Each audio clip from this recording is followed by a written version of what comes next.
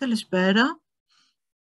Απόψε θα δούμε το όριμο έργο του μεγάλου πατέρα της αφαίρεσης του Καντίνσκι και θα δούμε επίσης και την έκθεσή του στο Μουσείο Guggenheim της Νέας Υόρκης, την τρέχουσα έκθεσή του, που θα διαρκέσει για αρκετούς μήνες. Ξεκινάμε. Είχαμε σταματήσει στο βιβλίο του Βασίλη Καντίνσκι για το πνευματικό στην τέχνη. Σε αυτό το βιβλίο ο Καντίνσκι μας εξηγεί ε, πως κάθε σχήμα έχει ένα ενδυνάμει περιεχόμενο, έχει μια ικανότητα να μας επηρεάσει ψυχολογικά με ένα ιδιαίτερο ερέθισμα. Για παράδειγμα, ένα τρίγωνο δημιουργεί κατά αυτόν μια πνευματική διέγερση διαφορετική από ό,τι ένας κύκλος. Εδώ έχω, βλέπουμε ένα έργο κάπως λίγο θλιβερό ε, του Καντίνσκι. Ε, το τρίγωνο μας παραπέμπει σε κάποιο ύψος προς τα πάνω, ενώ ο κύκλος μας δίνει την αίσθηση του, της ολοκλήρωσης και αυτό το καταλαβαίνουμε. Έτσι. Ε, μας δίνει την αίσθηση του ολοκληρωμένου. Έτσι λοιπόν ο καλλιτέχνης χρησιμοποιεί αυτά τα σχήματα με βάση την σημασιολογική και αισθητηριακή τους ιδιότητα ως χορδές όπως μας γράφει ή ως πλήκτρα ενός πιάνου ώστε να δονήσει την ανθρώπινη ψυχή. Τα χρώματα έχουν και αυτά τη δική τους σημασιολογική αξία που παραλλάσσεται, που αλλάζει ανάλογα με τα σχήματα με τα οποία συνδέονται. Για παράδειγμα, το γαλάζιο χρώμα, μας λέει ο Καντίνσκι, είναι το καθαρά ουράνιο και πνευματικό χρώμα. Ε, παρότι το γαλάζιο παραπέμπει σε αυτό το πνευματικό χρώμα, την ίδια στιγμή ε, μας, ε, ήταν το αγαπημένο χρώμα των συμβολιστών. Ε, όσο βαθαίνει το γαλάζιο, μας δίνει και την αίσθηση περισσότερο της γαλήνης. Εδώ το χρησιμοποιεί σε ένα κατσαντρούλο, ας πούμε, Καντίσκη και είναι με το οποίο μια εκκλησία στο Μυρνό, στο οποίο ζούσε μαζί με την ε, σύντροφό του εκείνη την περίοδο. Δεν είναι τυχαίο που ο Καντίσκη δίνει το όνομα του γαλάζιου, του γαλάζιου καβαλάρι στη νέα ομάδα που χρησιμοποιεί. Το κίτρινο πάλι είναι το χρώμα το οποίο ταιριάζει, όπως λέει ο Καντίνσκι, με τις οξύες γωνίες, καθώς είναι ένα χρώμα εχμηρό. Βλέπω ότι υπάρχει μια στάθεια στη σύνδεση λόγω του ανέμου. Ε, το 1911 εν τέλει, ο Καντίνσκι ε, μαζί με τον Μάρκ κάνουν το γαλάζιο καβαλάρι. Κοιτάξτε εδώ ένα ωραίο έργο. Είναι δύο καβαλάριδες και μία ακόμα φιγούρα που μας φαίνεται κάπου εδώ, σαν τις απλωμένες δύο φιγούρες βλέπετε. Ε, το 1911 ο Καντίνσκι μαζί με τον Μάρκ είπαμε κάνουν το γαλάζιο καβαλάρι, το οποίο οι δύο πρώτες εκθέσεις στο Μόναχο και το Γκόλτς το 1911 και το 1912 θα μείνουν θρηλυκές, θα παραμείνουν στην ιστορία. Κοιτάξτε εδώ, αυτό που, που λέγαμε με, τη, με το πόσο όξινο και πόσο ταιριάζει με τα τρίγωνα, το, και εδώ έχει το ρόμβο που είναι σαν δύο τρίγωνα το, στις εκκλησίες αυτές που μας κάνει ο Καντέσκι, το κίτρινο χρώμα. Εδώ βλέπουμε πάλι μια φιγούρα ή μια φερετική. Πόσο περίεργο έργο είναι αυτό, ε. Εδώ τον βλέπουμε στο Μυρνό να σκάβει, καθώς ήταν πάντα ένας άνθρωπος γεμάτος αυτοπεποίθηση, ε, αρκετά σοβαρός, αλλά εδώ το βλέπουμε και σε μια φάση που είναι και αρκετά έτσι, ευχαριστώ, εύχαριστος, ας πούμε, μπορούμε να πούμε, ευχαριστημένος. Εδώ θα δούμε λοιπόν τώρα το αλμανάκ αυτό που λέγαμε, ε, του Γαλάζιου Καβαλάρη, το οποίο έγινε στην κυριολεξία περιζήτητο, εκδόθηκε το 1912, ε, δηλαδή παράλληλα με το βιβλίο του «Το πνευματικό στην τέχνη» και εξέφρασε τις ιδέες του Καντίσκη και του Μάρκ πάνω στην τέχνη. Και εδώ, όπως βλέπετε, ένας, ε, ένας καβαλάρης εννοείται που ανεμίζει και το Ιμπέρτα του.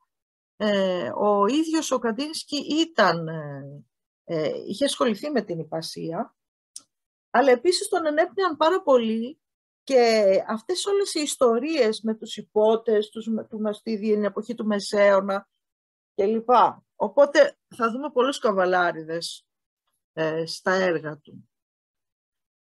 Ε, στην πρώτη τώρα έκθεση του Γαλάσιου Καβαλάρη αποτείεται φόρος τιμής σε έναν καλλιτέχνη, σε έναν ζωγράφο, τον Ρουσό, τον οποίο βλέπουμε εδώ, τον Αρή Ρουσό, μια σημαντική μορφή της γαλλικής ε, ε εποχής του μοντερνισμού, της αρχής του, των αρχών του μοντερνισμού, ο οποίος ε, ε, ζωγράφιζε με πολύ ιδιαίτερο, με πολύ προσωπικό τρόπο, ένας πολύ ιδιαίτερος ζωγράφος, με μια ιδιομορφία δική του, συμβολιστή ζωγράφος.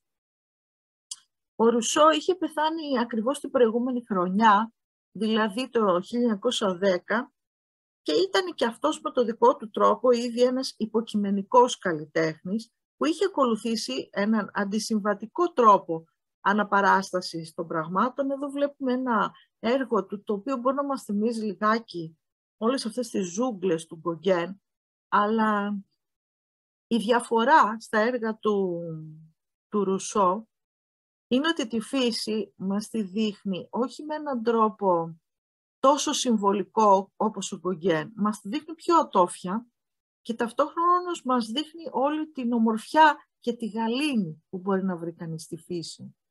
Ε, οπότε το έργο του δεν έχει τις εντάσεις, ούτε τον ερωτισμό του Γκογκέν, ε, που πολλές φορές είναι και διαστραμμένος, καθώς ήταν παιδεραστής. Αλλά εδώ μας δείχνει μια φοβερά ωραία συμφιλίωση με τη φύση και αυτά τα ελάφια που βλέπετε εδώ, ε, και βέβαια ε, όλο αυτό το πράσινο το οποίο συχνά χρησιμοποιεί με πάρα πολύ μεγάλη ένταση ο Ρουσό, ο Αρή Ρουσό και όλες τις σχηματοποίησεις επίσης τις οποίες δημιουργεί. Στο κείμενο για αυτή την έκθεση που έγινε στο Μόναχο, την έκθεση δηλαδή του Γαλάζιου Καβαλάρη, ο Καντίνσκι θα γράψει πως μοναδικός δρόμος για την απελευθέρωση από την κυριαρχία του ηλισμού είναι η επιδίωξη του πνευματικού στην τέχνη, μέσω της απελευθέρωσης όμως από την αναπαράσταση. Η θεοσοφία που ακολουθούσε ο Καντίνσκι για πολλά χρόνια ήταν εμφανής στα έργα του. Ε, οι σκεπτομορφές της Άννη Μπέζαντ και η βαθιά γνώση που είχε ανθρωποσοφίας ε, ενός, ενός κλάδου της θεοσοφίας, ε, μιας εξελικτικής δηλαδή διάστασης της ε, θεοσοφίας που ήταν η ανθρωποσοφία την οποία λάσαρε ο, ο πολύ μεγάλος και διάσημος διανοητής ε, Ρούτολ Στάινερ, τον οδήγησαν στην εμβάθυνση των ερευνών του στην τέχνη και στη διατύπωση μιας ψυχολογικής επενέργειας που έχουν τα διάφορα σχήματα και τα διάφορα χρώματα, πέρα όμως από την απλή ψυχική, ψυχολογική τους ερμηνεία. Δηλαδή, ε, ο Καντίσκι δεν επεδίωξε, ας πούμε, να μας πει μονάχο ότι το κίτρινο είναι θερμό το οποίο το ξέραμε ή μας δίνει πνευματικότητα, γιατί το ξέραμε και από τις ε, βυζαντινές αγιογραφίες ότι το κίτρινο το χρησιμοποιούν για να δείξουν την άβρα, ας πούμε, των Αγίων ή το φωτοστέφανο κτλ. Εντάξει. Αλλά πάει το, πάει το πράγμα πολύ περαιτέρω, παραπέρα. Ε, επίσης πρέπει να πούμε ότι ο Ρούντολφ Στάινερ δεν ήταν απλώς μια μορφή ανθρωποσοφίας, δηλαδή δεν ήταν απλώς ένας ε, σοφός άνθρωπος ή απλώς ένας φιλόσοφος ή απλώς ένας διανοητής της μεταφυσικής, αλλά ήταν μια τεράστια προσωπικότητα η οποία είχε δημιουργήσει, είχε πάρα πολύ στενή επαφή με την τέχνη, είχε πάρει όλη τη χρωματική θεωρία του Γκέτε και την είχε επεξεργαστεί και ήταν ο άνθρωπος ο οποίος είχε αλλάξει ε, σε μεγάλο βαθμό ε, και την πορεία της αρχιτεκτονικής, ε, καθώς ο ίδιος είχε λανσάρει επίσης μια τελείως διαφορετική μορφή εκπαίδευσης, δηλαδή τα σχολεία Waldorf, τα οποία στηρίζονται, ε, τα οποία ε, για την ακριβώς όχι στηρίζονται απλώς ένα σύστημα μη ανταγωνιστικό που ε, έχει να κάνει κυρίως με την τέχνη, δηλαδή μια λειτουργία παράλληλη με αυτά που έκανε ο Καντίνσκι και ενδεχομένως ο Καντίνσκι μπορούμε να πούμε ότι εμπνεύστηκε την διδασκαλία του στο Bauhaus από τον Ρούντολφ Στάινερ Καθώς έχουμε τα σχολεία Ρούντολφ Στάινερ μέχρι σήμερα, τα σχολεία αυτά λέγονται Βάλντορφ και τα οποία ε, στηρίζονται στη διδασκαλία της τέχνης, στηρίζονται στο μη ανταγωνισμό, στηρίζονται στη συμμετοχή των γονέων, ε, στην ε, μάθηση των παιδιών. Και τα σχολεία αυτά πάντα εδράζονται σε ε, κτίρια τα οποία είναι της αρχιτεκτονικής Βάλντορφ ε, η οποία, ε, του Ρούντολφ Στάινερ, συγγνώμη, που ε, δεν έχει γωνίες, είναι, στηρίζεται στον κύκλο, έχει κάποια χρώματα πολύ σωμών, κάποια πολύ φιλικά χρώματα στην ψυχολογία των παιδιών κτλ. κτλ. Τώρα, όσον αφορά τη διατύπωση της ψυχολογίας των χρωμάτων, ο Καντίνσκι επηρεάστηκε επίσης από τη μακρά φιλολογική παράδοση που ξεκινάει από τη θεωρία του των χρωμάτων του Γκέτε, η οποία λασαρίστηκε το 1810 και φτάνει ως τις προτάσεις των συμβολιστών ζωγράφων. Έτσι το λευκό και το κίτρινο ε, δίνουν φωτεινότητα, το μπλε και το μαύρο δραματικότητα ε, και βασανιστική θλίψη, το θερμό κόκκινο είναι ζωηρό και ανήσυχο, το πράσινο είναι ήρεμο, καλά αυτό το ξέρουμε, το γκρι είναι ακίνητο, το βιολετή θλιμμένο. Η μεγάλη σιωπή του λευκού συμπίπτει με το τίποτα που προϋπάρχει της γέννησης. Ενώ το μαύρο, όπως γράφει, είναι ένα νεκρό τίποτα μετά το σβήσιμο του ήλιου. Το αλμανάκ του γαλάζιου καβαλάρι πάντως αναφερόταν σε όλες τις εποχές και τις τέχνες. Πρωτόγονες, αρχαίες ή τρέχουσες, ελίτ ή λαϊκές. Ο ακαταπώνητος εκείνη την εποχή Καντίνσκι σχεδίασε τη μακέτα και ζωγράφισε το εξώφυλλο για το οποίο είχε κάνει προηγουμένως καμιά δεκαριά προσχέδια. Μιλάμε τώρα για το γαλάζιο καβαλάρι, έτσι. Βλέπουμε εδώ ένα από τα προσχεδιάκια του, που πάτε όμως βλέπετε ότι διατηρεί μια παιδικότητα σαν του κλέ και μια ε, τάση προς το παραμύθι, όπως είδαμε και στο περασμένο μας σεμινάριο. Εδώ είναι πάλι το αλμανάκ του, ε, του μπλε καβαλάρι. Πρέπει να πούμε ότι αυτός ο άνθρωπος ήταν και τόσο ευφυής, ο Καπίνσκι, ώστε έγραφε, ε, θέλω να πω, τα γερμανικά του ήταν άψογα και εξού και στο Μόναχο είχε μια τόσο μεγάλη άνεση. Έτσι. Και μετά φυσικά έμαθα και γαλλικά και τα ρωσικά εννοείται και αγγλικά, δηλαδή απ' όλα. Ε, εδώ βλέπουμε πάλι ένα άλογο, ένα καβαλάρι, εντελώς αφαιρετικό πάλι και βλέπουμε και όλη την κίνηση την οποία ε, μας δίνει μέσα από αυτό το, το σχέδιο, στο πούμε έτσι. Και επίσης έγραψε κείμενα ή μετέφρασε τα περισσότερα εκείνα τα κείμενα που στήριζαν την κεντρική ιδέα του γαλάζιου καβαλάρι που ήταν να δώσει προτεραιότητα στο πνευματικό που γι' αυτό το πνευματικό είναι η πρωτογενής ρίζα όλων των τεχνών.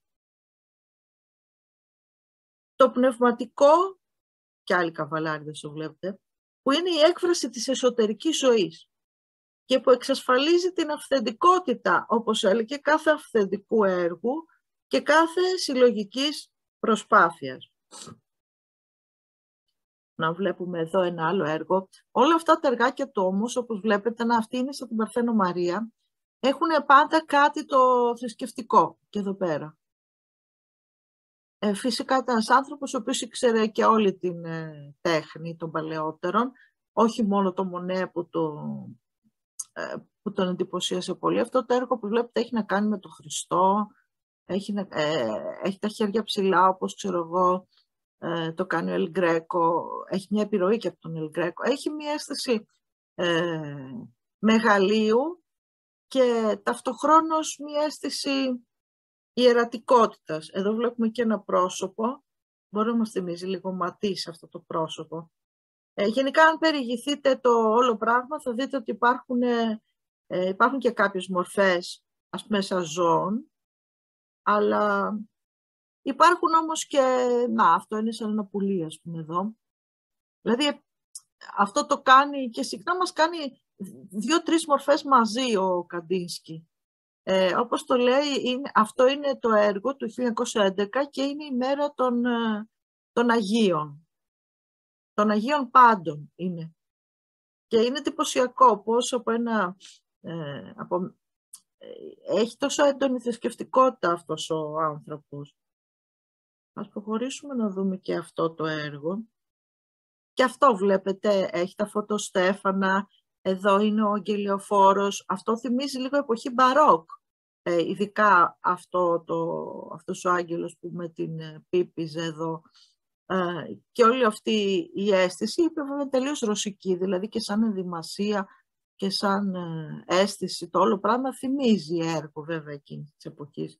Ε, και βέβαια θυμίζει πολύ και παραμύθι, δηλαδή είναι σαν εικονογράφηση. Και τα πουλιά του παραδείσου, τα ουρή ενδεχομένως του παραδείσου και εδώ υπάρχει ένας εσταυρωμένος. Ε, και όλο αυτό το υπό τη σκέπη ενός τεράστιου άνθους, ας πούμε. Όσο και τον τίτλο του Γαλάζιου Καβαλάρη που λέγαμε, βρέθηκε ως εξής, όπως έγραφε ο Καντίσκη. Είμαστε, λέει, εγώ και ο Μάρκ σε μια καφετέρια, σε μια ταράτσα σκοτεινή, στο Σίντελσντορφ και πίναμε καφέ. Και οι δυο αγαπάμε τον μπλε. Ο Μάρκ αγαπάει τα άλογα, εγώ τους καβαλάριδες. Έτσι το όνομα βγήκε από μόνο του. Εδώ είναι με τον Μάρκ, όπως βλέπετε.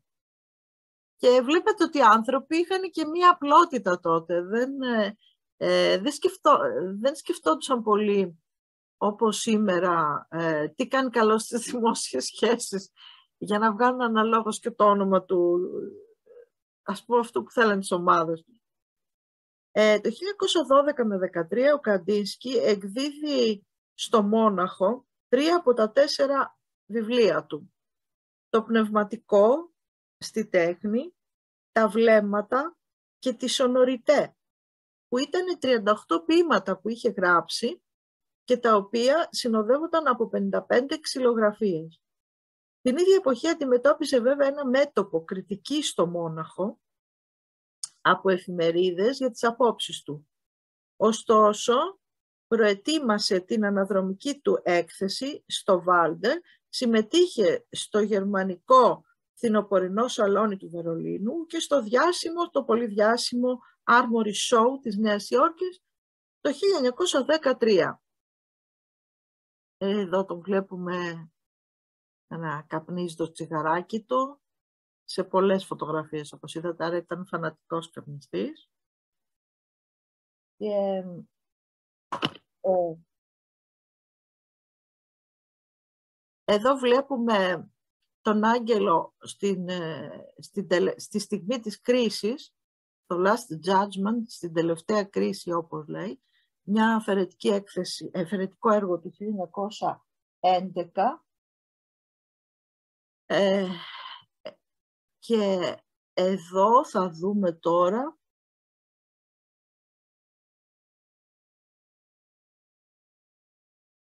την λεγόμενη σύνθεσή του, ε, τη σύνθεση 4 του 1911. Η σύνθεση αυτή είναι μία από τις πιο γνωστές και από τις πιο ενδιαφέρουσες του Καντίσκη. Παρόλο που έχει ένα εντελώς αφαιρετικό χαρακτήρα, είναι, μπορούμε να πούμε, μια σύνθεση που αποπέμπει ένα τολμηρό, αποκαλυπτικό, με την έννοια της αποκάλυψης, και έναν ιερατικό χαρακτήρα. Βλέπουμε αυτές τις δύο μαύρες χοντρές γραμμές στο κέντρο, οι οποίες όμως καταλήγουν να είναι δύο σταυροί, τους οποίους κρατάνε τρία άτομα. Με αυτά τα καπέλα, τα τα σκούρα κόκκινα, μπορούμε να πούμε κανείς. Εάν κανείς ε, ε, είναι πιθανό να το προσέξει καλύτερα, μπορεί να πιθανολογήσει ότι είναι δύο παπάδες με τα χέρια τους, καθώς στο κάτω επίπεδο βλέπουμε δύο ε, κυτρινοκαφέ σημάδια που θα μπορούσαν να είναι τα χέρια, δηλαδή αυτά εδώ ας πούμε. Άρα είναι αυτοί οι δύο παπάδες που κρατάνε και άλλη μία μορφή, ας πούμε. Υπάρχει και άλλη άποψη που λέει πως αυτά τα δύο άτομα είναι δύο κοζάκι. Γιατί αυτά τα κόκκινα καπέλα τα φορούσαν οι κοζάκι. Υποτίθεται πως δίπλα τους υπάρχει και ένας τρίτος κοζάκος, ο οποίος φέρει αυτό εδώ πέρα το σπαθί. Στην αριστερή τώρα πλευρά του έργου επικρατεί μια αναταραχή, με διάφορες όπου βλέπετε αλληλοδιαπλεκόμενες μαύρες γραμμές που είναι σαν να δημιουργούν κάποια ιδεογράμματα ή γραφισμούς. Εδώ μπορεί να πει κανείς ότι είναι ένας άνθρωπος. Ε, εδώ υπάρχουν πάλι αυτές οι σχάρες που χρησιμοποιεί ο Καντίνσκι που είναι σαν τουφέκια παρατεταγμένα σε σειρά. Ε, αλλά στη δεξιά πλευρά αντιθέτως βλέπουμε η κατάσταση να είναι ήρεμη με κάποια εναρμονισμένα χρώματα και πιθανώς αυτές να είναι οι δύο μορφές τις οποίες συχνά μας παρουσιάζει δίπλα-δίπλα ε, ο Καντίνσκι. Ε, αυτές οι ζευγαρωτές μορφές είναι που εκπέμπουν μια γαλήνη. Ίσως αυτό το έργο να υπονοεί μια διάθεση του καλλιτέχνη να απεικονίσει μια ευχή του να καταπαύσουν οι έρηδες του πολέμου που υπήρχε εκείνη την εποχή για να επικρατήσει η γαλήνη. Όπως καταλαβαίνετε το έργο αυτό μπορεί να ειδωθεί ως καθαρή αφαίρεση σε πρώτη αίσθηση, αλλά μπορεί και να αποκωδικοποιηθεί από τις φόρμες του, χωρίς ωστόσο να χάσει τη μαγεία από τα ωραία του χρώματα και τον αυθορμητισμό της αφαίρεσής του. Μπορούμε δηλαδή να το απολαύσουμε, αλλά και να μοιραστούμε με έναν ονειρικό τρόπο το μυστήριό του και το τι κρύβεται από πίσω. Ε, και αυτή είναι η μαγεία του Καντίνσκι, δηλαδή ε, μπορεί να μας φτιάχνει ένα τελείως απλό πράγμα, όπως βλέπετε αυτό, θα μπορούσε να είναι ένα κεφάλι. Αν θυμάστε ένα έργο του Hans Harp που σας έχω δείξει, που είναι κάπως έτσι. Ε, και θα μπορούσε βέβαια και αυτό να έχει επηρεαστεί από το Μάλεβιτς που έκανε αρκετούς σταυρούς εκείνη την εποχή. Αυτά όμως δεν έχουν σημασία. Ε, σημασία έχει ότι ο Καντίνσκι χρησιμοποιεί το χρώμα και, τη, και τους γραφισμούς αυτούς προκειμένου να γοητεύσει το κοινό του και να εκφραστεί ο ίδιος. Και βέβαια πάλι εδώ έχει το μπλε βουνό, ένα έργο όπως θυμάστε είχαμε δείξει και πιο πριν. Ε, προχωρώντας, ε, να δούμε αυτό το έργο που είναι μια, η σύνθεση του 5, προηγουμένως είδαμε τη σύνθεση νούμερο 4, είναι μια σύνθεση ε, που μπορούμε να πούμε ότι είναι πολύ πιο ταραγμένη από την προηγούμενη. Αυτή. Και βλέπετε ότι υπάρχουν πάρα πολύ περισσότερες καμπύλες σε αυτήν και πάρα πολύ μεγαλύτερη κίνηση. Αλλά αυτό που μπορείτε να καταλάβετε είναι ότι κάθε φορά διαλέγει να έχει στην πραγματικότητα ο Κατήρσκι δύο επιφάνειες. Η μία είναι η φορτωμένη που είναι αυτή και η άλλη είναι η γαλήνια και η ήρεμη που είναι αυτή. Το ίδιο συμβαίνει και εδώ. Εδώ υπάρχει το βάρος και εδώ υπάρχει ελάφρυνση, μπορούμε να πούμε έτσι. Μπορούμε να δούμε και αυτό το έργο, το οποίο είναι, λέγεται εντύπωση 3 και αναφέρεται σε ένα κοντσέρτο. Αναφέρεται σε ένα κοντσέρτο, ενδεχομένως που είχε πάει ο ίδιος ε, και αυτά μπορεί να είναι τα πρόσωπα που παρακολουθούν και αυτή να είναι η αίσθηση της μουσικής. Ε, βλέπετε πόσο πολύ κίτρινο μας δίνει εδώ. Ξαφνικά μια τεράστια μαύρη επιφάνεια. Αυτό το έχει ξανακάνει και σε ένα μεταγενέστερο έργο του, αλλά αυτό έχει μια συμβολική αξία γι' αυτόν. Ε, δηλαδή θέλουν και κάποια ερμηνεία λίγο τα έργα του. Είναι και λίγο ε, κρυπτικά, να το πούμε έτσι. Ε, θέλουν να είναι κρυπτικά για να έχουν μια γοητεία. Και λοιπόν, ας προχωρήσουμε να δούμε και το επόμενο που είναι αυτό. Αυτό λοιπόν είναι η, τελευταία κρίση. Είναι μία, πώς το λένε, το έργο αυτό είναι μία, ένας αυτοσχεδιασμός μπορούμε να πούμε. Ε, και έτσι και ονομάζεται αυτοσχεδιασμός. Το έργο αυτό που είναι επίσης γνωστό, είναι γνωστό και με έναν άλλο τίτλο, με τον τίτλο «Ο γαλάζιος ήχος». Αποτελεί λοιπόν ένα μέρος της σειράς έργων που ο Καντίνσκι άρχισε να φιλοτεχνεί το 1909, οπότε και κατέταξε τα έργα του σε εντυπώσεις, αυτοσχεδιασμούς και συνθέσεις. Η χρήση μουσικών όρων αποκαλύπτει τη βαθιά σχέση ανάμεσα στη μουσική και τη ζωγραφική, τις οποίες ο Καντίνσκι πάντα υποστήριζε και θυμόσαστε που σας έλεγα ε, στο προηγούμενο σεμινάριο, το Καντίνσκι ξεκίνησε από πάρα πολύ μικρός να μαθαίνει μουσικά όργανα, πιάνο, βιολοντσέλο και βιολί.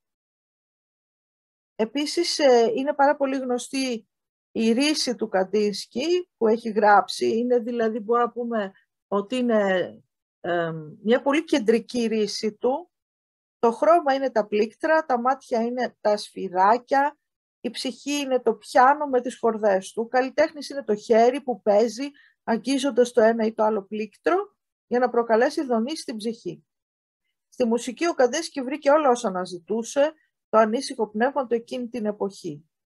Ένας μελετητής που λέγεται Dochting το 1994 έγραψε ότι οι πολύχρωμες φόρμες αυτού του πίνακα θυμίζουν ένα θεατρικό έργο που λέγεται «Ο κίτρινος ήχος», με το οποίο ο Καντέσκι σκεφτόταν να πραγματοποιήσει το όνειρό του για να ε, ολοκληρώσει αυτό που λέμε καθολικό έργο τέχνης. Προχωράμε σε ένα άλλο έργο. Αυτό είναι η τελευταία κρύψη που σας έλεγα, του 1912. Βλέπουμε εδώ ένα μεταφυσικό έργο, δυνατό, με έντονους γραφισμούς που θυμίζουν την τεχνοτροπία του έργου που είδαμε με τους Κοζάκους και ιδιαίτερα προς τη δεξιά πλευρά βλέπουμε τον άγγελο ε, της κρίσης και τις στροβιλιζόμενες ψυχές. Ωστόσο και πάλι στο σκηνικό της αποκάλυψης, αυτό που βλέπουμε είναι στην πραγματικότητα ένα σχεδόν νοητό τοπίο, όπως αντιλαμβανόμαστε. Ε,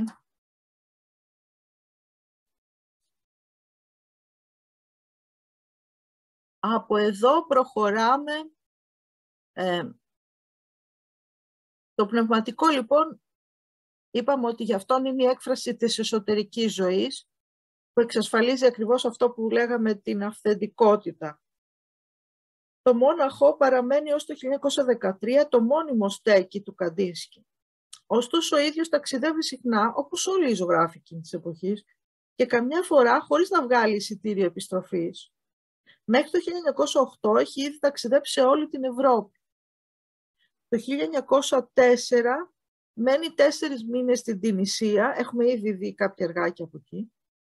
Τον Ιούνιο του 1906 μένεις στις Σέβρε για ένα χρόνο. Αυτό είναι μια περιοχή κοντά στο Παρίσι. Το καλοκαίρι του 1907, ας δούμε κι άλλο ένα έργο, ε, το καλοκαίρι του 1907 πάει στην Ελβετία και το φθινόπωρο και το χειμώνα του 1907 στο Βερολίνο.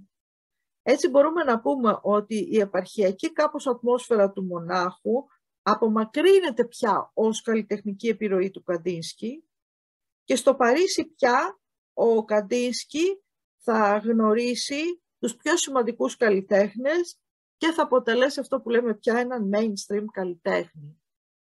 Εδώ βλέπουμε άλλη μια, έναν αυτοσχεδιασμό που μας οδηγεί ε, προς το βάθος που βρίσκονται δύο άτομα όμως, πάλι σαν μια ιερατική εικόνα, δηλαδή σαν ένα θείο ζεύγος, ε, δεν μπορώ να καταλάβω ακριβώς τι θα μπορούσε να σημαίνει αυτό. Δούμε και αυτό το έργο. Αυτό λοιπόν το έργο είναι ένα έργο πάρα πολύ μυστήριο. Είναι η λεγόμενη Μοσχοβίτισσα. Μισό λεπτό πιο ένα νερό.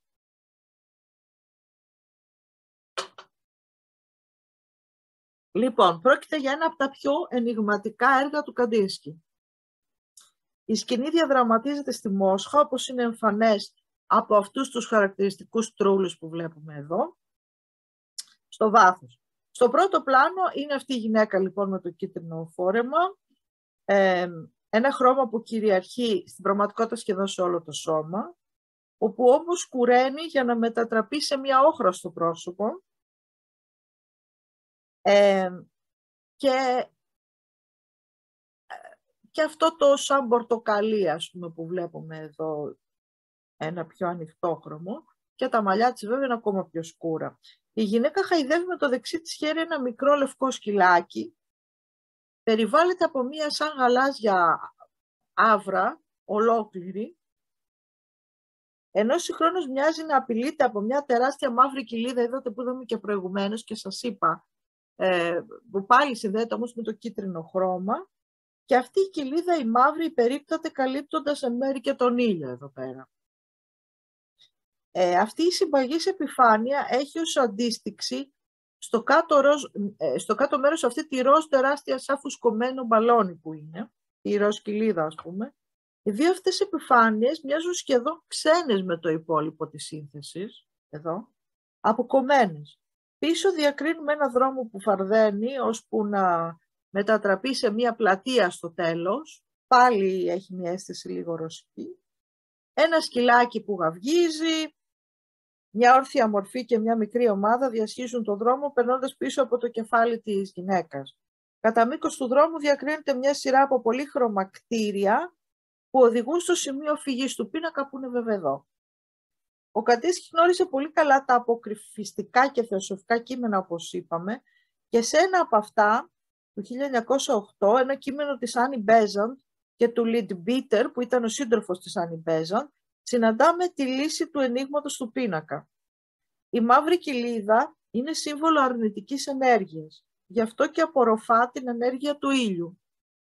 Το γαλάζιο φωτοστέφανο, η άβρα τέλος πάντων, γύρω από τη γυναίκα, είναι η άβρα που δείχνει τη δική της εσωτερική διάθεση. Το κυκλικό σχήμα σε ροζ χρώμα είναι η συναισθηματική δόνηση που προσπαθεί να αντιταχθεί στην αρνητική δύναμη του μαύρου. Όπως γράφει ένας τεχνοκριτικός που λέγεται Ντι Στέφανο το 1993 για αυτό το έργο. Δεδομένου ότι το 1911 και το 1912 ο Καντίσκι προαναγγέλει στα κείμενά του την αρχή μιας νέας εποχής, αυτός ο πίνακας μπορεί να ερμηνευτεί ως η έλευση της εποχής του πνεύματος, το οποίο απειλείται, ωστόσο ε, τα καταφέρνει να, να νικήσει τον ηλισμό. Ε, όπως έγραφε ο ίδιος, η ψυχή αφυπνίζεται, ακόμα όμως κυριαρχείται από τον εφιάλτη.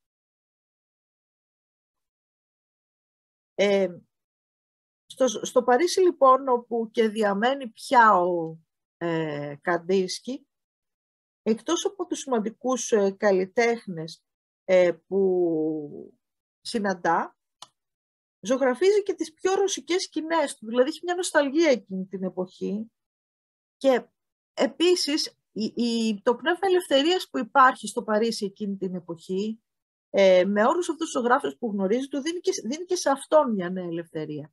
Έτσι λοιπόν ε, ζωγραφίζει με ακόμα περισσότερο τόλμη αφαιρετικά έργα. Ε, η κατάσταση του είναι πολύ ιδιαίτερη βέβαια, γιατί στο Παρίσι νιώθει δυτικός, ε, στον Πόναχο νιώθει Ρώσος. Στο Παρίσι δεν πάει βέβαια για ένα χρόνο μόνο για να εκθέσει σε δύο σαλόν. Ίδιο κυβισμός κάει από το αυγό και η φόβη είναι στα πάνω τους και θα επηρεαστεί και αυτός φυσικά από τους φόβους. Εννοείται ήδη είδαμε λίγο να επηρεάζεται από το ματής όπως είπαμε. Ε, θα σας δείξω τώρα ένα έργο που ανήκει σε αυτή την αίσθηση ελευθερίας που αποκτά πια, το βλέπετε ήδη και από εδώ ο Καντίνσκι, και είναι αυτό. Αυτό το έργο λέγεται «Μαύρες πινελιές» και είναι, ε, το έχει φτιάξει το 1913. Το έχει φτιάξει ένα χρόνο πριν ξεσπάσει ο πρώτος παγκόσμιος πόλεμος, που αναγκάζει τον Καντίνσκι να φύγει από το Μόναχο και βλέπουμε εδώ μία ένταση, μία αντιπαράθεση κοιλίδων με πολύ έντονα χρώματα, τις οποίες επεμβαίνει συνέχεια ο καλλιτέχνης και κάνει αυτούς τους γραφισμούς, αυτές τις μαύρες πινελιές, τις οποίες έκανε και ο Hans Hartung και, ε, και αυτές δίνουν και τον τίτλο, άλλωστε στον πίνακα, αυτές οι μαύρες πινελιές τις οποίες κάνει με φοβερή βεβαιότητα. Οι πινελιές αυτές μετατρέπονται λοιπόν ξαφνικά σε πρωταγωνιστές αυτής της σύνθεσης, αφού τους βάζει και στον τίτλο. Σε ορισμένες περιπτώσεις αυτά τα γραμμικά στοιχεία δίνουν υπόσταση στα χρώματα. Ας πούμε εδώ σε αυτή την πράσινη κοιλίδα, σε αυτή την πράσινη κοιλίδα αν δεν υπήρχαν οι γραφισμοί, που τώρα μας θυμίζει κάτι σαν μανιτάρι, σαν ε, φυτόκτρο κάτι, δεν θα είχε καμία υπόσταση αυτό το πράγμα εδώ. Ε, οπότε θέλω να πω πειραματίζεται εδώ πέρα πάνω σε αυτές τις σχέσεις. Στο κάτω μέρος παρατηρούμε ότι η συχνή χρήση του μαύρου χρησιμεύει μερικές φορές για να τονίσει τα περιγράμματα των χρωμάτων, ενώ άλλοτε πάλι δίνει βάθος στο γαλάζιο, για παράδειγμα, εδώ του δίνει ένα βάθος, ε, ή μετατρέπεται σε έναν ήχο που υποβάλλεται από τη σιωπή του λευκού. Δηλαδή εδώ δεν θα υπήρχε αυτό εάν δεν υπήρχε αυτό, θέλω να πω. Είναι κάποια πολύ λεπτά πραγματάκια ε, που δείχνουν πόσο ο άνθρωπος αυτός πραγματικά πειραματίζεται. Εδώ δηλαδή δεν μας κάνει μια μουτζούρα για να το καταλάβουμε. Ε, εδώ προσπαθεί να καταλάβει πώς μπορεί να ελεπιδράσουν αυτές ε, οι μορφές, ας πούμε. Ναι. Ε, για να δούμε τώρα, να προχωρήσουμε λίγο, να δούμε και κάποια άλλα έργα. Συνθέσεις βασικά. Ε, εδώ έχουμε μία σύνθεση ε, που μπορούμε να πούμε ότι είναι αυτό που λένε μαζεστιέ οι Γάλλοι, δηλαδή μεγαλοπρεπή. Ε, εδώ υπάρχει μια ακόμα μεγαλύτερη απελευθέρωση, μπορούμε να πούμε. Αν στο προηγούμενο είχαμε μια ευνίδια απελευθέρωση με τους γραφισμούς και τις ευαίσθητες τελικά τις ισορροπίες, εδώ έχουμε μια έντονα λυρική ε, διάσταση, μπορούμε να πούμε. Το έργο αυτό βρίσκεται στο Ερμητάζ, η σύνθεση αυτή, δηλαδή η έξι, είδαμε και τις δύο προηγούμενες, ε, και δείχνει ακριβώς και τη δύναμη του μοντερνισμού για μένα, αν θέλετε. Ε, βέβαια, ε, σε αυτή τη φάση εδώ, σε αυτή τη σύνθεση, υπάρχει πάρα πολύ μουσικότητα, υπάρχει πάρα πολύ η αίσθηση της αποκάλυψης, υπάρχει ο τρόπος που οι γραμμές μας οδηγούν σε κέντρα ενδιαφέροντος, ας πούμε εδώ, φτιάχνει μια σχάρα πολύχρωμη, που είναι σαν το ουράνιο τόξο, που το ουράνιο τόξο αισθανόμαστε πάντα ότι είναι κάτι σαν μαγικό, ξέρω εγώ, και σαν μια αποκάλυψη, συχνά, της φύσης. Το χρησιμοποιεί πάρα πολύ ο Καντίσκη εδώ. Εδώ μας κάνει και μια τεράστια, συχνά χρησιμοποιεί αιωρούμενες βάρκες στον αέρα ή στο σύμπαν, στον κόσμο. Ε, και όλη αυτή η τρομερή, ας πούμε, κινητικότητα που είναι σαν ένα αφαιρετικό μπαρόκ, μπορούμε να πούμε. Και βέβαια μπορούμε να δούμε μορφές, αν θέλουμε. Εδώ, ας πούμε, μπορούμε να δούμε τη μορφή ενός πουλιού, ξέρω εγώ, που είναι σαν παπαγάλος, ή μπορεί όχι. Εδώ μπορούμε να δούμε έναν άνθρωπο και ένα ξύφος. Ε, εδώ είναι οι δύο αυτές μορφές που είναι στο προηγούμενο έργο του που είδαμε, αν θυμάστε.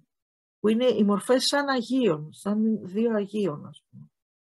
Ε, πολλά πράγματα μπορεί να δει κανείς και να χαζέψει, αλλά πάντως εδώ είναι μια αναστάτωση, σαν αναστάτωση θαλασσινή. Ε, και παρόλα αυτά υπάρχει μια τέτοια κίνηση στον πίνακα, που αν παρατηρήσετε πάει κάπως έτσι, γίνεται ένας στρόβιλος δηλαδή στην πραγματικότητα. Όλα όμως οδηγούν κάπου εδώ. Που εδώ είναι το φως, που εδώ είναι μια αίσθηση απελευθέρωσης, κάπως έτσι. Ε, πάντως είναι μια μεγάλη απόλαυση ακόμα και να αντιγράψει κανείς έργα του Καντίνσκι. Εγώ το έχω κάνει προσωπικά, γιατί με ένα αυτός ο καλλιτέχνης μου δημιουργούσε ένα αίσθημα έτσι λίγο μαγείας και πραγματικά είναι πάρα πολύ ευχάριστο να κάτσει κανείς, να πάρει παστέλ, ξέρω εγώ, ε, μαλακά παστέλ και να, να κάνει κάτι τέτοιο, ας πούμε. Είναι πολύ απελευθερωτικό. Ε, εδώ βλέπουμε ένα έργο που είναι, το, το έργο αυτό δηλαδή, η σύνθεση, η έξι, αυτό το έργο είναι ένα έργο σταθμός του μοντερνισμού της πρωτοπορίας του 20ου αιώνα. Και γι' αυτό το λόγο έχει χρησιμοποιηθεί και ως εξώφυλλο ε, του καταλόγου «Ο Μοντερνισμός στον 20ο αιώνα», μιας μεγάλης έκθεσης που έγινε στο Μάρτιν Gropius Bau.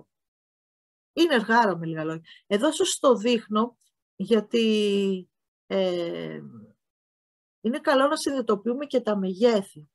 Δηλαδή, τι μέγεθος έχει αυτό το έργο, ας πούμε, στην πραγματικότητα. Καταλάβατε, αυτό εννοώ.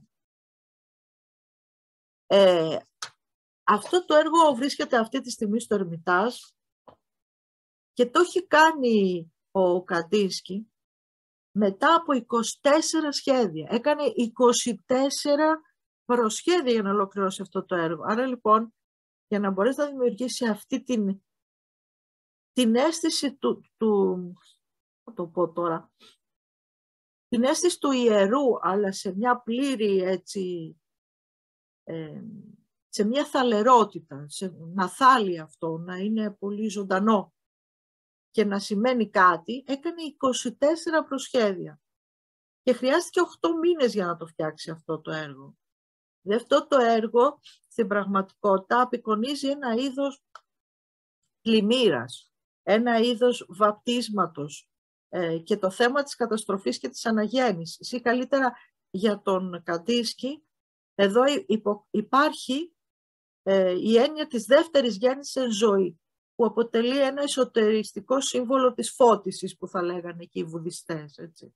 Προφανώς λοιπόν αυτό το θέμα είναι αλληγορικό και επειδή είχε πολύ μεγάλη σημασία για αυτόν, δημιουργεί αυτό τον ανεμοστρόβιλο που γεννάει αυτοεπίγνωση, η οποία ε, ε, κατά αυτόν μάλιστα όπως έχει πει, τον είχε μπλοκάρει και για καιρό δεν μπορούσε να ολοκληρώσει αυτό το έργο.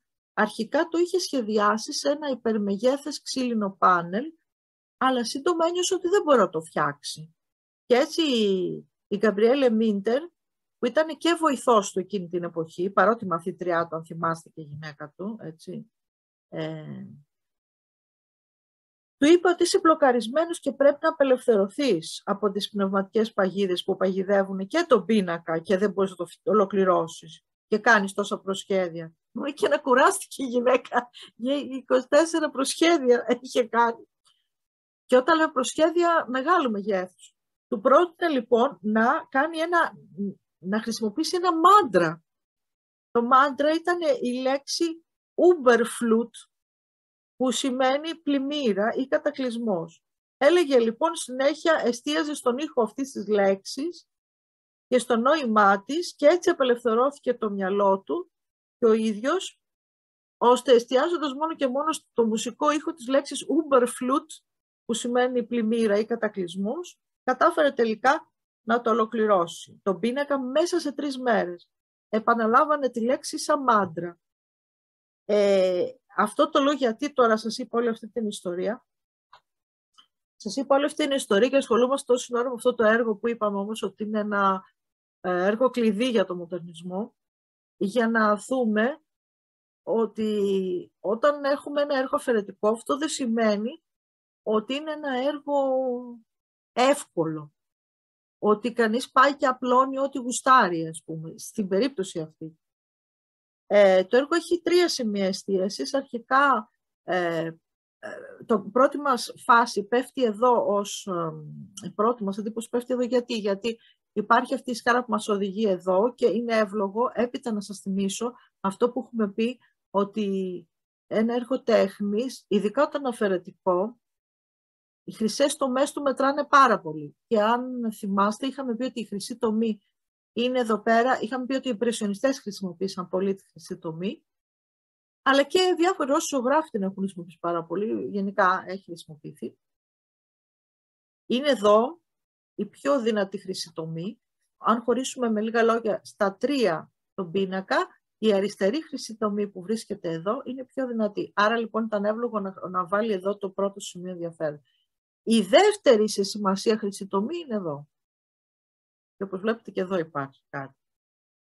Ε, σταδιακά κατευθυνόμαστε έτσι προς τα δεξιά, όπως είπαμε, και γίνεται όλο αυτό, ε, αυτή η δίνη, ας πούμε, που χρησιμοποιεί. Και γενικώς υπάρχει αυτή η κινητικότητα σε αυτό το έργο, μια χρωματική καταιγίδα, που εντυπωσιάζει πάρα πολύ εύκολα το θεατή, όπως αντιλαμβάνεστε. Εδώ είναι κυριολεκτικά σαν να πέφτει φως, έτσι όπως το βλέπουμε από μακριά το έργο, έτσι. Πραγματικά είναι σαν να πέφτει ένα μεταφυσικό φως ε, και ως εκ τούτου αντιλαμβανόμαστε ε, τι μαεστρία και τι κουζίνα, ας το πούμε έτσι, υπάρχει και πίσω από αυτό το έργο. Ε, ας αφήσουμε αυτό το έργο να προχωρήσουμε. Βλέπουμε εδώ ότι μετά από εκείνο το έργο το βαρύ και το πολύ μελετημένο περνάμε σε μια εντελώς ανάερη σχολιογραφική κατάσταση κυλίδων και αυτό μοιάζει και σαν λουλούδια, ας πούμε, ανοιξιάτικα. Ναι, ανοιξιάτικο, ας πούμε, έργο, ε, το οποίο έχει κάνει το 1913 και απλά το ονομάζει μια σύνθεση σε κόκκινο, μπλε, πράσινο και κίτρινο, το οποίο δεν λείπει από κανένα έργο του Καντίνσκι σχεδόν. Τα τελευταία μόνο έργα θα δούμε να λείπει κάποτε.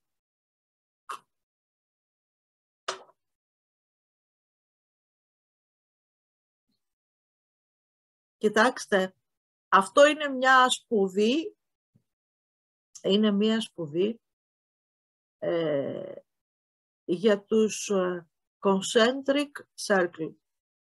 Είναι τετράγωνα με, που έχουν στο κέντρο τους αυτούς τους κύκλους και που όλο πηγαίνει προς το βάθος.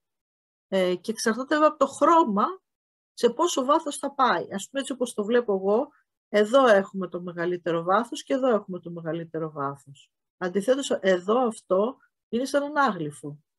Είναι σαν μάτι, ας πούμε, περίπου. Ε, έτσι όπως το έχει φτιάξει. Οπότε βλέπετε ότι τα επίπεδα, αυτό ας πούμε δείχνει βάθος, αυτό μας δείχνει ότι είναι σαν κύλο. Κύλο, καλά το είπα. Μάλλον. Ας προχωρήσουμε. Και βέβαια τέτοιου είδους ασκήσεις έκανε εννοείται στον Bauhaus όπου δίδασκε ο άνθρωπος αυτός. Και προχωράμε σε ένα άλλο εξαιρετικό έργο, ε, που είναι αυτό εδώ που βλέπουμε εδώ.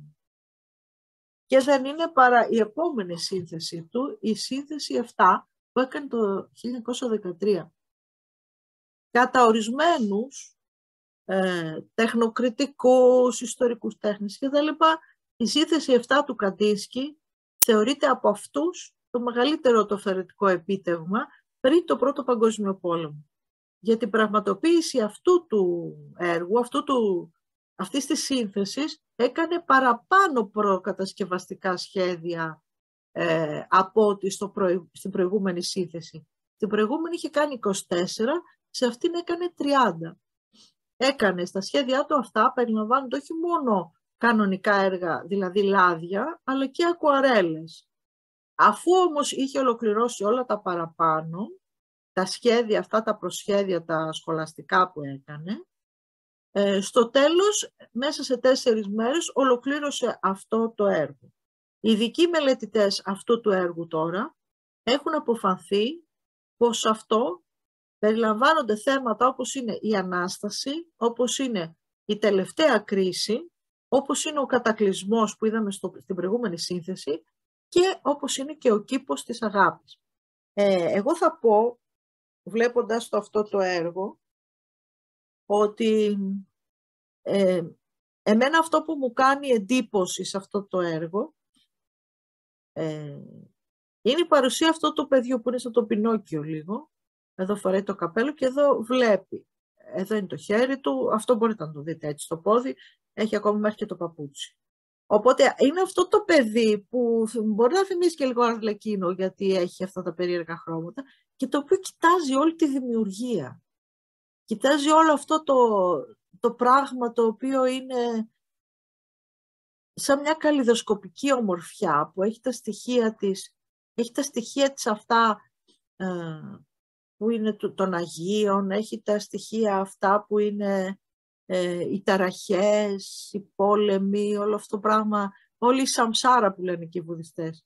Όλο αυτό το εξωτερικό πράγμα που προσπαθεί να διαμορφωθεί, αλλά είναι σε μια συνεχή κίνηση και όπου η γαλήνη βρίσκεται πάνω δεξιά. Δεν τυχαίο αυτό. Βλέπετε ότι όλη, όλη αυτή η σύνθεση είναι σαν να αυτό είναι στερεό, ε, στερεό, συγγνώμη, σταθερό το παιδί. Το παιδί δεν έχει κίνηση, είναι σταθερό και όλη αυτή η κίνηση πάει προς τα πάνω δεξιά και φτάνει στο γαλάζιο που είναι το πνευματικό στοιχείο. Εδώ ενδεχομένως να υπάρχει και ένας καβαλάρης, δεν ξέρω εγώ τι. Δεν ξέρω τι μπορείτε να δείτε κι εσείς. Αν ε, θέλετε να κάποιος να σχολιάσει και να δει, η δώρα είναι καλή σε αυτά. Όποιος θέλει να σχολιάσει, να πει τι βλέπετε εσείς και πώς το αισθάνεστε αυτό το έργο.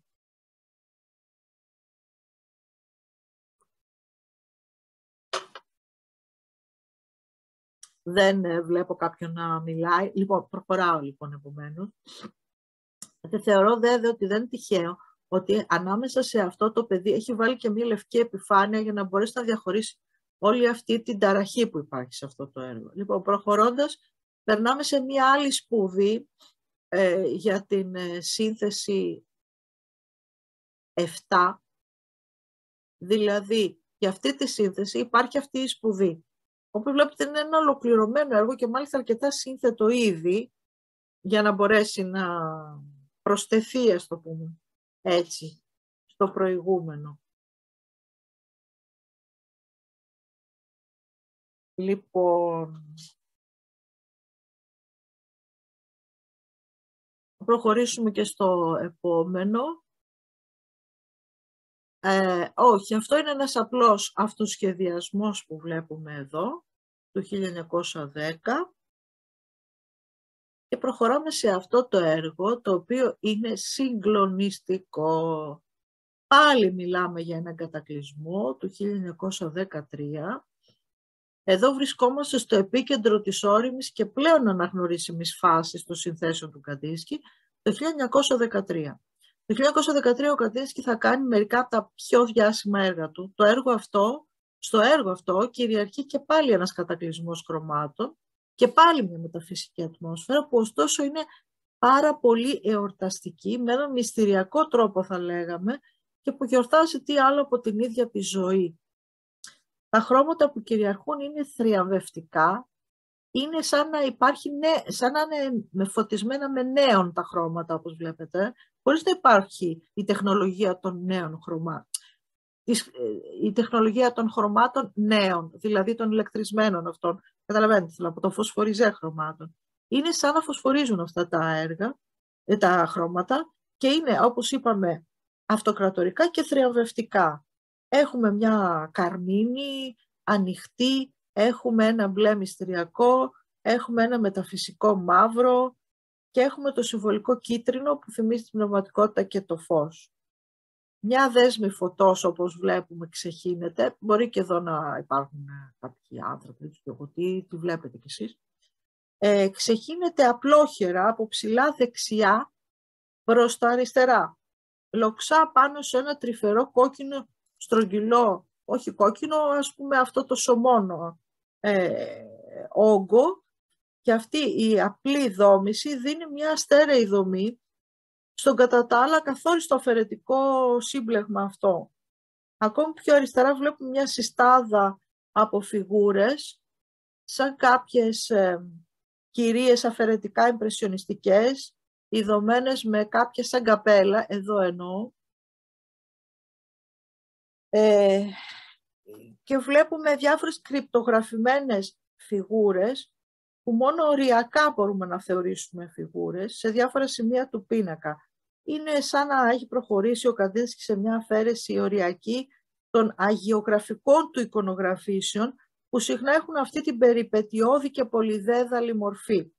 Η δύναμη αλλά και το μυστικό έργων σαν και αυτό του Καντίσκη, κατά τη γνώμη μου, είναι ότι γεφυρώνει με μεγάλη αποτελεσματικότητα και ποίηση κάτι σχεδόν αδύνατον να κάνει κανείς. Καταφέρνει δηλαδή να μετατρέψει την αγιογραφία που στηρίζεται σαφέστατα σε κλασικούς αναπαραστατικούς αλλά και συμβολικούς κώδικες ε, και είναι πάντα αναπαραστατική σε μια αφαιρετική αίσθηση αγιογραφίας. Τα χρώματα που χρησιμοποιεί είναι ιερατικά, υποβάλλουν μια αντίστοιχη μυστηριακή ατμόσφαιρα αλλά δεν υπάρχει ίχνος σαφούς αναπαράστασης. Έτσι εδώ βλέπουμε πόσο συνεπής είναι στα λόγια του ο ότι αυτό που τον ενδιαφέρει είναι πραγματικά το πνευματικό στοιχείο στην τέχνη και όχι απλώς μια σκέτη αισθητηριακή απόλαυση. Όχι ένας απλός αισθητισμός όπως το κάνει ο Ματής ή μια στυλιζαρισμένη φόρμα όπως το κάνει ο Σαγκάλ ή μια εύκολη αφήγηση μέσω της αναπαράστασης. Εκεί βρίσκεται λοιπόν και το επίκεντρο του οραματισμού του ως καλλιτέχνη. Και προχωράμε να δούμε εδώ ένα έργο το οποίο ήταν πολύ αγαπημένο του Καντίσκη. Λέγεται «Μικρές απολαύσεις». Είναι ένα έργο του 1913. Το έργο αυτό απεικονίζει μια στιγμή ανάπαυσης ανάμεσα σε μια καταιγίδα και ένα κατακλυσμό. Στο κέντρο διακρίνονται μερικά κτίρια πάνω σε ένα βουνό. Η μικροσκοπική τρούλη είναι μια προφανής αναφορά ε, στη Μόσχα και πάλι, εδώ. Ε,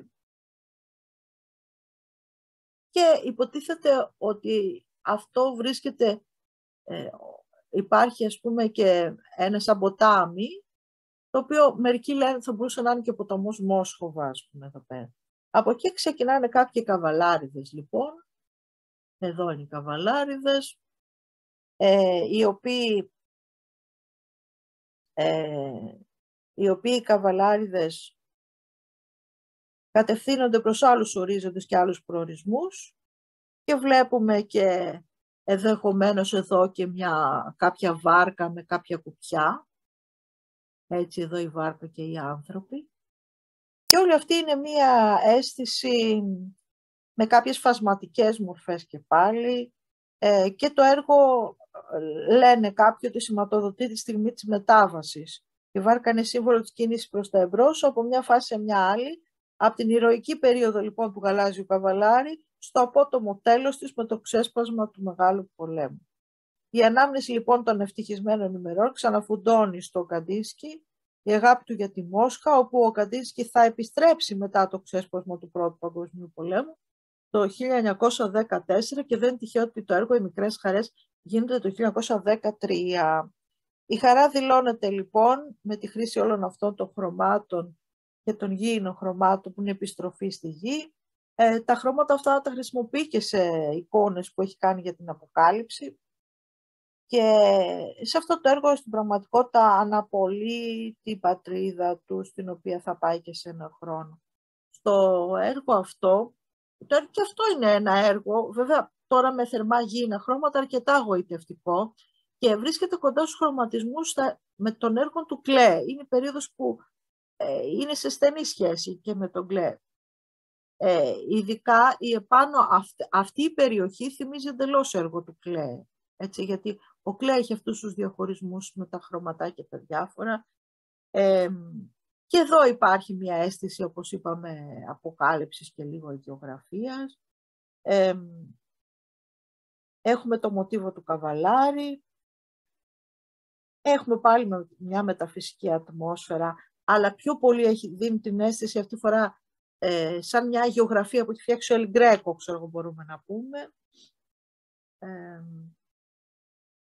και συχνά η παράθεση πολλών στοιχείων ε, σε ένα πίνακα μπουκώνει πολλές φορές, αλλά εξαρτάται πώς το βλέπει κανείς. Γιατί όταν ένας πίνακας στέκει συνθετικά, με την πρώτη ματιά είσαι ελκύει αόριστα λόγω του χρώματός του. Και επειδή έχει κάποιες φόρμες, μπορεί να σου αποσπάσει το βλέμμα περισσότερη ώρα και έτσι σιγά σιγά ανακαλύπτεις όλα τα δρόμενα που έχει ο καμβάς, σαν να ξετυλίγονται σιγά σιγά σε ένα όνειρο. Ε, και, έτσι, και τα έργα του Καντίνς και αυτής η περίοδο είναι αλήθεια ότι προσφέρονται ε, γι' αυτό. Και γι' αυτό ίσως ο τίτλος του έργου να δικαιολογείται που είναι όντως μικρές χαρές γιατί είναι ταξιδευτικά έργα, ξέρω εγώ, μπορεί να πει κανείς. Και αυτό, μην κοιτάξτε τώρα το αλάμι που λέει, τι να κάνουμε, έχουν αγοράσει όλα, όλα τα, τους φωτογραφίες σημαντικές. Εδώ ποζάρει περήφανος μπροστά στις μικρές χαρές. Βλέπετε εδώ τη σχάρα που έχει κάνει εδώ μετά. Ε, είναι πολύ περήφανος όπως βλέπετε και πολύ καλοντημένος. Πάντα ήταν καλοντημένος, αλλά εδώ βλέπουμε ότι έχει καλοντηθεί για αυτή τη φωτογραφία. Δηλαδή ε, φαίνεται δηλαδή ότι πόσο περήφανος είναι. Λοιπόν, ε, προχωράμε εδώ. Αυτό το έργο του, το 1913, είναι ο ονειρικός αυτοσχεδιασμός. Είναι ένα έργο από αυτά που σίγουρα θα ήθελε να έχει στο σπίτι του ο Σι Τομπλή, ένας σύγχρονος καλλιτέχνης, ο οποίος έχει επηρεαστεί πολύ από αυτούς τους γραφισμούς του Καντίνσκι κινείται στα όρια μεταξύ αυτοσχεδιαστισμού και έχρωμου πίνακα.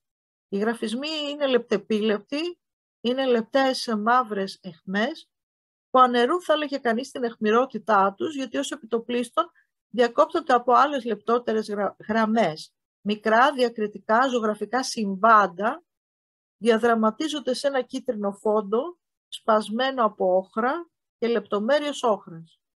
Έτσι ένας πίνακας με μια μικρή διακριτική φλεαρία παρουσιάζεται εδώ και αυτός ο σχεδιασμός έχει κάτι το ονειρικό και εδώ, όπως μας λέει ο Καντίσκης και στον τίτλο του. Έχει κάτι επίσης από τη σουρεαλιστική ατμόσφαιρα του Νταλή. Αυτό είναι το στοιχείο που ε, υποσυνείδητα εκεί παραπέμπει. Ε, μπορούμε να πούμε δε ότι έχει και κάτι που παραπέμπει εκτός από τον Νταλή ένα αφαιρετικό νταλί, ας πούμε, στον Ιερώνυμο Μπός, του Μεσαίωνα. Ο αυθορμητισμός και το πρωτόγονο στοιχείο είναι σίγουρα κάτι που δίνει έναν αυθεντικό τόνο σε αυτό το έργο και βέβαια η γενναιόδορη χρωματική απόδοση που μας έχει κάνει εδώ ο Καντίνσκι. Ε, είμαστε στο 1913, ακριβώς πριν ε, ε, φύγει ο Καντίσκι για την Μόσχα. Ε, ένα λεπτάκι. Μάλιστα. Προχωράμε και πάλι, αλλά δεν θα μακρηγορήσουμε πολύ γιατί θέλω να δείτε... Oh, ναι, τώρα εδώ κάπου θα σταματήσουμε και θα συνεχίσουμε στο επόμενο μάθημα. Θέλω να δείτε την έκθεση στο Guggenheim. Λοιπόν, εδώ είμαστε. Ε, μας δείχνει μια ναυμαχία εδώ πέρα, ξέρω εγώ, υποτίθεται αυτό είναι το πλοίο, ξέρω εγώ. Εντάξει, μας δείχνει μια ναυμαχία, ένα, ένα στοιχείο αυτοσχεδιασμού ε, του Κατίνσκι. Θυμηθείτε ότι εδώ έχει ήδη ε, ξεσπάσει, έχει ήδη ξεσπάσει, έχει ήδη αναδυθεί ε, ο κυβισμός και η φόβ. Εδώ έχουμε χρωματισμούς φόβ, εδώ και αν έχουμε φόβ. Δηλαδή εδώ είναι σαν να είναι ένας αφαιρετικός βλαμέγκ. Και είναι αυτό που σας έλεγα ότι υπάρχει μια υπόγεια συνέργεια. Ε, εκείνη την εποχή που τα είναι ζωντανά τα κινήματα της τέχνης, υπάρχει μια συνάφεια. Και άρα λοιπόν ο ένας βλέπει το έργο του άλλου, συζητάνε αυτά και βέβαια γοητεύονται και θαυμάζουν ένας τον άλλο. Αυτό το έργο είναι κανόνια και βέβαια φαίνεται εδώ γιατί είναι κουβαλάνε τα κανόνια. Ε, πόλεμος είναι, καταλαβαίνετε, τώρα είναι σε μια κατάσταση όπου και αυτοί βρίσκονται σε μια τραγική κατάσταση. Από τη μια ζωγραφίζει τους τρούλους, ξέρω εγώ τι ζωγραφίζει, το πλήθος εδώ, τα κανόνια και την αίσθηση που δημιουργείται από όλη αυτή την κατάσταση. Ε, σε, αυτό, σε αυτή την περίπτωση βλέπουμε διάφορα μοτίβα, έτσι. Διάφορες θεματικές μπορούμε να πούμε. Ε, οι, οι θεματικές αυτές προέρχονται συχνά και από τη βίβλο, έξω και βλέπουμε όλα αυτά τα ερατικά, αλλά προέρχονται και από το και από το από την ορθόδοξη σλαβική παράδοση μπορούμε να πούμε.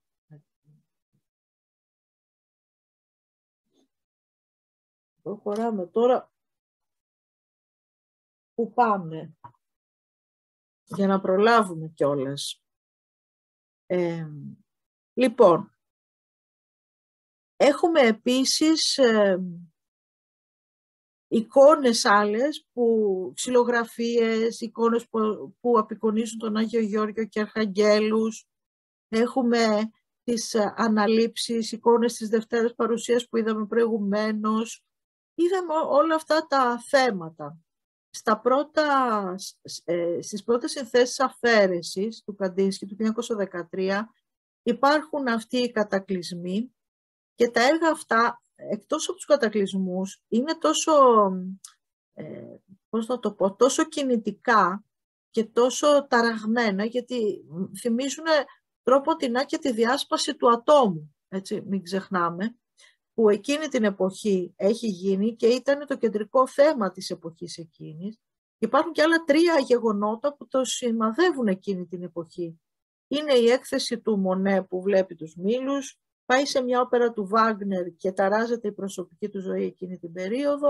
Τα δύο πρώτα γεγονότα, όπως γράφει στο βιβλίο του τα βλέμματα, αφήνουν τη σφραγίδα τους σε ολόκληρη τη ζωή του.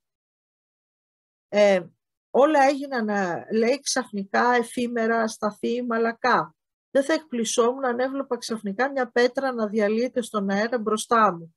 Γράφει για εκείνη την περίοδο, ε, αναφερόμενος φυσικά όχι μόνο στη διάσπαση του ατόμου, αλλά και στην κατάσταση με τον πόλεμο, έτσι. Και πράγματι αυτή είναι η εποχή της ουσιαστικής έκρηξης της αφαίρεσης. Το 1912 είναι η χρονιά που εκδίδεται για το, το, για το πνευματικό στην τέχνη και το αλμανάκ του Γαλάζιου Καβαλάρη. Το πρώτο βιβλίο αναλύει στο πρώτο του μέρος τις βασικές πνευματικές αρχές της τέχνης και τις εφαρμόζει στο δεύτερο μέρος στη γλώσσα των μορφών και των χρωμάτων. Οι αναφορές του, του συγγραφέα υποδεικνύουν ήδη τις κατευθύνσεις του ε, από τον Μέτερλινγκ ως τον Ντεμπισί, τον Μουσόργκσκι και τον φίλο του τον Σένμπεργκ, τον συνθέτη, που γράφει ατονική αφηρημένη μουσική. Ινδοϊσμός, Ινδουισμός και Θεοσοφία είναι οι αναφορές του, οι βασικές.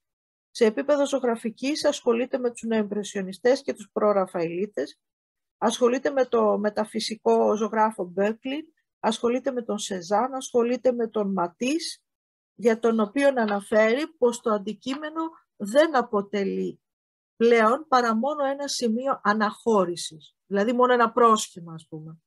Και αναφέρεται και στον Πικάσο, ο οποίος όπως γράφει, επειδή συγκεντρώνεται στη φόρμα, καταφέρνει με τη δύναμη της λογικής να κομματιάσει τα υλικά στοιχεία. Ε, θα σταματήσουμε εδώ, ε, γιατί πολύ απλά πρέπει να προχωρήσουμε να δούμε, θα σταματήσουμε λοιπόν εδώ ή να δούμε λίγο ακόμα. Ας δούμε μερικά έργα ακόμα. Αυτό είναι ένα τοπίο με κόκκινες κοιλίδες. Αλλά αυτό φαίνεται ότι είναι τοπίο γιατί έχει πολλά αυτά τα βουνά και αυτά. Αυτό είναι ε, μια ζωγραφική με πράσινο κέντρο, όπως λέει, και πάλι αναφέρεται στο κέντρο. Εδώ μας οδηγεί δηλαδή προς το κέντρο και πάλι έχει ένα διαχωρισμό των δύο επιφανειών. Η μία είναι πιο βαθιά, η άλλη είναι πιο επιφανειακή. Αυτή είναι πιο φορτωμένη, αυτή είναι πιο ελαφριά. Είναι ο τρόπος του κιόλας που ζωγραφίζει, μπορούμε να πούμε. Και ε, όχι, θα σταματήσουμε εδώ όπου έχει να κάνει με, με την εικόνα αυτή, το πίνακα με λευκό πλαίσιο. Οπότε να είμαστε εδώ.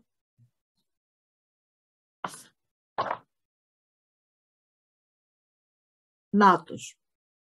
Αυτός είναι ο πίνακας με το λευκό πλαίσιο που για τη δημιουργία αυτού του έργου που εκτέθηκε στο Βερολίνο το πρώτο φθινοπορειλό στο πρώτο φθινοπορεινό σαλόν της Γερμανίας του 1913 χρειάστηκε μια μακρά περίοδος και εδώ προετοιμασίας με πάρα πολλά προσχέδια και σπουδές. Ο Καντίσχη περιγράφει τον πίνακα ως εξής. Στην κάτω δεξιά γωνία περιέλαβα την διάλυση των χρωμάτων και των μορφών, εδώ δηλαδή, ενώ πάνω αριστερά το μοτίβο της Τρόικας, τη ρωσική άμαξα με τα τρία άλογα. Προφανώς αυτή θα είναι η Τρόικα, ξέρω εγώ. Έτσι, τρεις γραμμές διαφορετικού πάχους, ναι εδώ, διασχίζουν την επιφάνεια του πίνακα η μία δίπλα στην άλλη και καμπυλώνουν στο πάνω μέρος. Κατέληξε σε αυτή τη φόρμα επειδή μου θυμίζει τις ράχες των τριών αλόγων στη ρωσική άμαξα, εικόνα που εδώ και πολύ καιρό υπάρχει μέσα μου και που την είχα χρησιμοποιήσει σε διάφορα σχέδια. Στην πάνω και κάτω αριστερή γωνία, εδώ και εδώ, υπάρχουν δύο οδοντοτές φόρμες που μεταδίδουν ένα συνέστημα το οποίο δεν μπορώ να εκφράσω με λόγια. Και εμείς τα λέγαμε. Πρόκειται μάλλον για ένα εμπόδιο που όμως δεν καταφέρνει να συγκρατήσει την τρόικα. Το εμπόδιο είναι αυτό προφανώς. Όπως τόσες φορές στους πινακές μου, έτσι και εδώ υπάρχουν δύο κέντρα. Αριστερά, κατακόρυφες φόρμες που πλησιάζουν προς το δεύτερο κέντρο που είναι αυτό το δεύτερο κέντρο. Με χρωματικές πινελιές πολύ καθαρές, πολύ ηχηρές. Δεξιά, καμπύλες φόρμες, αυτές εδώ. Χρειάστηκαν πολλή δουλειά, γράφει. Τα δύο κέντρα χωρίζονται, αλλά και ενώνονται με πολυάριθμα λιγότερο ή περισσότερο καθαρά σχήματα, ορισμένα από τα οποία είναι απλές πράσινες κοιλίδες.